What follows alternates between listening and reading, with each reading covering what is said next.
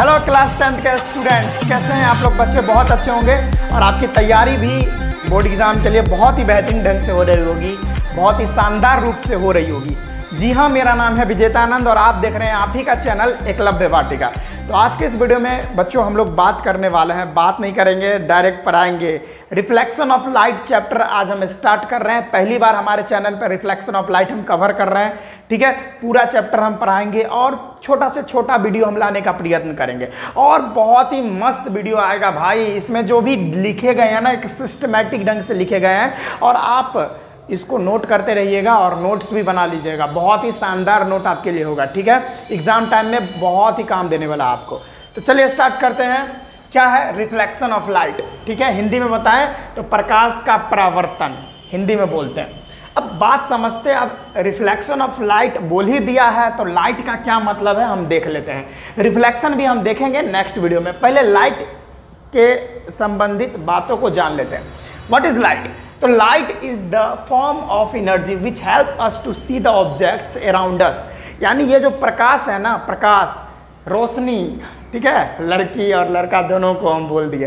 तो ये जो लाइट है ना, यह एक प्रकार की एनर्जी होती है, जो हमारे चारों ओर जितने भी वस्तुएँ हैं, जितने भी चीज़ें हैं, उसको देखने में मुझे मदद करती है। मुझे नहीं, सबको मदद करती है। लाइट का मतलब समझे? लाइट एक प्रकार की एनर्जी है, जो कोई भी वस्तु हमारे चारों ओर जो उपस्थित है, मौजूद है, उसको देखने में हमें मदद करती है। उसी को लाइट बोलते हैं। अब देखो we see object through our eyes ये तो बच्चा बच्चा जानता है, अंधा भी जानता है। बेचारा अंधा का तो आँख नहीं होता है, लेकिन फिर भी वो जानता है कि हम लोग देख किस चीज़ से पाते हैं?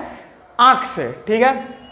आँख में बहुत सारा चीज़ रहता है, ठीक है? आई बॉल इरिस पुपिल ठीक है, और रेटिना वगैरह वो सब हेल्प करता है। अभी बताऊँगा सारा कुछ डिटेल में, ठीक है? ये अभी तो रिफ्लेक्शन चालू ही किया हूँ, ठीक है? ये सारा चीज़ हम लोग कवर करेंगे टेंशन मत लीजिए। आगे है we see object when light rays reflected from the object finally comes to our eyes अब देखो, हम लोग देख कम पाते हैं तो देखो भाई, हम कैसे देख पाते मान के चलिए, ऊपर में सूर्य है। सूर्य से प्रकाश आया डर अब देखो ये बोर्ड ये व्हाइट बोर्ड में टकराया और टकराने के बाद हमारे आँख में आया, तब जाके ये सारा चीज़ हम ये देख पाते हैं। और नहीं तो अगर ये लाइट सीधा चला जाता, टकराता, उकराता नहीं तो हम कैसे देख पाते? तो ऐसे करके डर गई और पहले क्या मैंने बताया बताया कि वहाँ अगर सूर्य है तो यहाँ से डर आया लाइट, इस पर टकराया और मेरे आँख तक गया। तब जाके इसमें जो भी कंटेंट यहाँ पे लिखा हुआ है, तब मैं देख पा रहा हूँ। ठीक है बच्चों? समझ में आ रहा है ना? तभी हम देख पा रहे हैं। जैसे कोई फूल को हम देखते हैं, ना? कोई फूल को देखते हैं तो सूर्य से जो है प्रकाश जाती है फूल पे टकराती है और टकराने के बाद हमारे आँखों में आती है, तब जाके उस फूल को हम देख पाते हैं।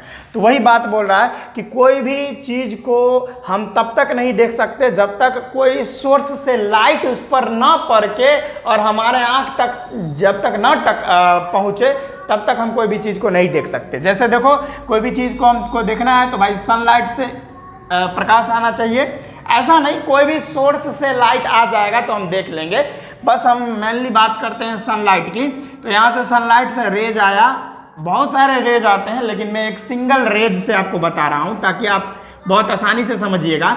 यहाँ पर एक रेज आई, और यहाँ पर एक आदमी है, ये बौना सा आदमी है, देख रहे हैं? और यहाँ पर आपका आँख है, यहाँ पर आप है, ठीक है? या मान लीजिए आपका आँख है, या आप ही है, बुझ जाइए ना, आप ही है, और ये आँख है इसका। और टकराने के बाद, यानी रेज आया, यहाँ टकराया और टकराने के बाद, यानी रिफ्लेक्शन करने के बाद यहाँ पर गया।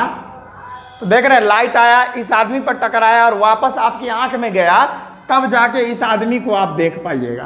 तो ये सारा फिनोमेना होता है। समझ में आ रहा है बच्चों? ठीक है बच्चों? तो आप देखिए, अब हम बहुत इंपॉर्टेंट चीज़ देखने वाले हैं luminous object and non luminous object इससे बहुत सारा चीज़ हमारा क्लियर हो जाएगा। ये ये फेनोमेना जो बताया, ये भी आपका क्लियर हो जाएगा। सारा चीज़ ल्यूमिनियस एंड नॉन ल्यूमिनियस में छुपा हुआ है। समझिए ल्यूमिनियस ऑब्जेक्ट क्या होता है? तो ल्यूमिनियस ऑब्जेक्ट वैसे ऑब्जेक्ट होते हैं, जिनके पास खुद का लाइट होता है ऑन लाइट यानी ल्यूमिनियस ऑब्जेक्ट वैसा ऑब्जेक्ट है, जिनके पास खुद का प्रकाश है। उसे ही ल्यूमिनियस ऑब्जेक्ट कहते हैं। तो भाई, किस किस के पास है? सूर्य के पास, यानी सन के पास अपना प्रकाश होता है फायर फायर जानते आग। आग के पास अपना प्रकाश होता है। ऐसा है क्या कि वो किसी से उधार ले लेता है अपना रोशनी? नहीं ना, ऐसा नहीं है ना? हाँ उसके पास खुद का लाइट होता है ना। स्टार्स यानी तारे जो है, तारे तारे जो टिमटिमाते हैं, ऐसे देख रहे हैं ना? तो भाई, ये सन ये स्टार्स ये सारे जो हैं और फायर ये सारे ल्यूमिनियस ऑब्जेक्ट हैं, इनके पास खुद का लाइट होता है। लेकिन इसमें आप मून मत लिख दीजिएगा। मून के पास खुद का लाइट होता है क्या? नहीं। वह सूर्य से लाइट लेता है, तब जाके चमकता है। तो मून इसमें हो जाएगा नॉन ल्यूमिनियस में मून हो जाएगा। ठीक है? और प्लैनेट जितने सारे प्लैनेट हैं प्लैनेट्स समझ में आया? लुमिनियस ऑब्जेक्ट वैसा ऑब्जेक्ट जिनके पास खुद का लाइट है।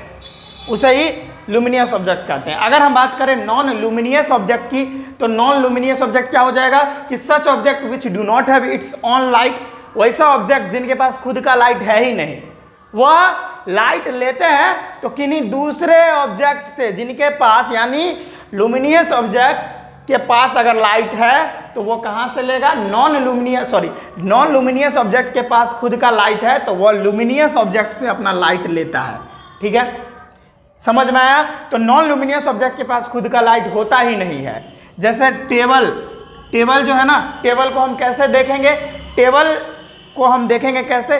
तो कहीं से लुमिनियस ऑब्जेक्ट से जो रोशनी आएगा टर टेबल पे टकराएगा और तब मेरे आँख में जाएगा तब हम टेबल को देख पाते हैं ठीक है जैसे सन सन है, जैसे फायर है स्टार है, ये डायरेक्ट हम इसको देख लेते हैं। क्यों इसको देख लेते हैं? क्योंकि इनके पास खुद का लाइट है। डायरेक्ट खुद का लाइट है तो भाई इसको टकराने की ज़रूरत नहीं है। डायरेक्ट भी हम देख सकते हैं। क्यों? क्योंकि इनके पास खुद का लाइट है। तो खुद का लाइट है, जिसके लिए डायरेक्ट हम इसको देख पाएँगे। लेकिन इसको देखने के लिए, ये टेबल को देखने के लिए चेयर को देखने के लिए पेन को देखने के लिए, ये इसको देखने के लिए ना, ये टेबल को चेयर को पेन को, ये इसको जो है लुमिनियस ऑब्जेक्ट से रोशनी लेना पड़ेगा।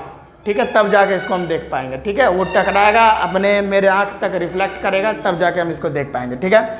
तो नॉन लुमिनस ऑब्जेक्ट के पास खुद का लाइट नहीं होता है, और जैसे example table chair pen moon planet ग्रह वगैरह जो होता है, उनके पास खुद का लाइट नहीं होता है, वो किसी स्टार से अपना रोशनी लेते हैं, ठीक है? समझ में आ गया? तो आज का ये छोटा सा टॉपिक था, जिसमें हम लाइट कवर किए luminous object and non luminous object cover किए। नेक्स्ट वीडियो में हमारा चीज़ हम लोग कवर करेंगे नेचर ऑफ़ लाइट लाइट जो होता है ना, उसका नेचर कैसा होता है? ठीक है, जैसे ह्यूमन का भी नेचर होता है ना, अपना अपना, हर एक हर एक आदमी का अपना अपना एक नेचर होता है. किसी का नेचर अच्छा होता है, किसी का नेचर बुरा होता है. तो भाई लाइट का कैसा नेचर होता है, वो हम नेक्स्ट वीडियो में देखेंगे. ठीक है बच्चों, अगर आप नोट नहीं किए हैं तो लीजिए ना नोट कर लीजिए. जल्दी से इसको नोट करिएगा. चलिए नोट कर लिए हैं. इसी तरह से ना रिफ्लेक्शन ऑफ़ लाइट पर छोटा छोटा वीडियो आएगा और मज़ा भी आएगा और नोट बनाना स्टार्ट कर दे। देखिए, जो मैं लिखाता हूँ ना, वो लिखते रहिए। रिवीजन जब आप कीजिएगा ना, जब आपका बोर्ड एग्ज़ाम होगा तो बहुत ही फ़ायदेमंद ये होने वाला है। ठीक है बच्चों? तो अगर मेरे टेलीग्राम ग्रुप से जुड़ना चाहते हैं फ्री में नोट्स पाना चाहते हैं तो भाई मेरे टेलीग्राम ग्रुप से जुड़े लिंक डिस्क्रिप्शन में मिल जाएगा। ठीक है? तो मिलते हैं नेक्स्ट वीडियो में, तब तक के लिए बाय